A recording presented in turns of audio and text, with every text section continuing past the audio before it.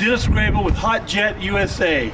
We're out here in our backyard of our manufacturing plant to see what we can do and if uh, with this clear piping we're going to run our jetter through it see if we can push this this amount of uh, product through this pipe. Now got to tell you I got a couple of chickens here and we're going to see if we can make them squawk.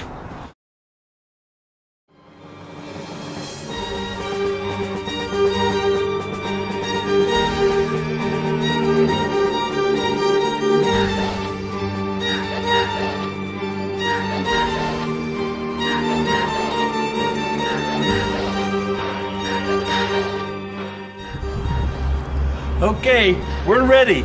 We put a clog specifically between the two joints because it's got to be pushed through. And we're going to take a look at what we got here now. We got a chicken. I got cauliflower. No, that's broccoli. Oh, look, Freddie, we left one in the bag. There's a chicken in the bag here. We got carrots, lettuce, potatoes, yellow peppers. There's a green pepper. We left it out. I get to take that one home with me.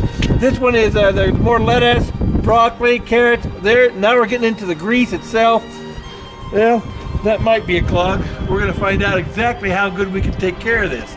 I'm going to put Mo in charge of the jetter so we can see if we can push this through with our warthog. Mo, take off, man. You guys do it.